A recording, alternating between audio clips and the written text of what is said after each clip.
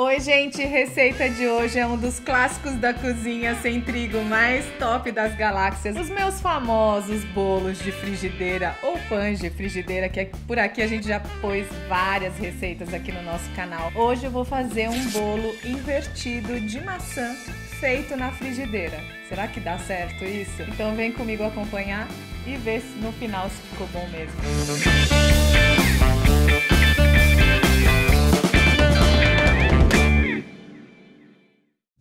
Bom, esse bolo é super simples. Primeiro a gente vai fatiar a maçã. Eu vou cortar ela ao meio, vou tirar as cascas, tira as sementes também. A gente fatia metade dela em meia lua, pode passar no mandolim que fica bem fininho e fica mais certinho as fatias. E a outra parte eu vou fatiar fatias grossas, tá? Para passar no liquidificador. Então, no liquidificador, primeiro eu vou colocar dois ovos, metade dessa maçã que eu cortei, cortada em cubos maiores. Vou colocar também para bater no liquidificador 3 colheres de sopa de açúcar demerara e eu vou bater esses dois ovos com a maçã. Depois disso eu vou passar essa mistura para uma tigela e aí eu vou misturar os ingredientes secos. Eu vou usar duas colheres de sopa cheias de farinha de amêndoas ou de qualquer outra oleaginosa e vou colocar também uma colher de sopa cheia de farinha de aveia ou pode ser aquela farinha de mandioca bem fininha ou farinha de arroz, aí vai a farinha que você tiver tiver em casa. Vamos colocar uma colher de chá de canela, canela em pó. Depois é só bater tudo com o fouet mesmo, batedor de arame. E por fim a gente vai incorporar uma colher de chá de fermento químico para bolo. Depois que a nossa massa estiver pronta, o que, que a gente vai fazer agora? A gente vai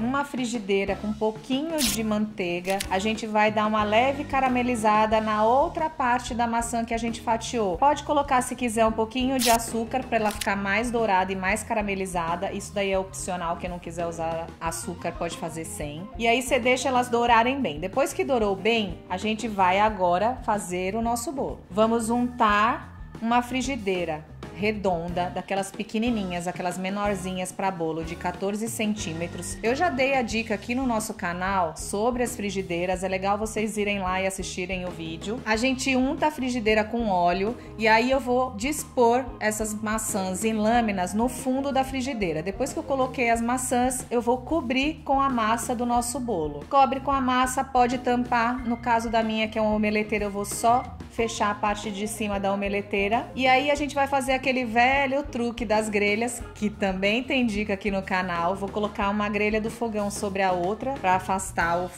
a chama do fogo, que é muito alta da minha frigideira e não correr o risco de queimar o meu bolo. E aí é só deixar ele cozinhar. Demora aproximadamente de 10 a 15 minutinhos aqui no fogo, fogo baixo, tá? Depois que perceber que o bolo tá bem firme, aí é hora de virar e dar uma dourada no outro lado do bolo também.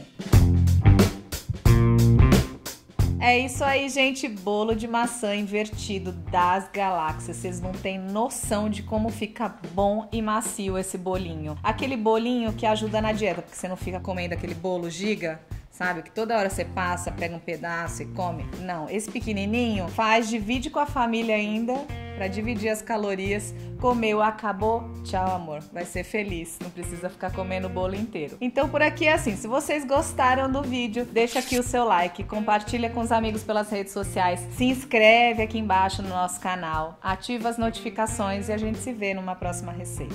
Ah, não, não é Assim, meia lua meia lua, lua, lua. É retardada.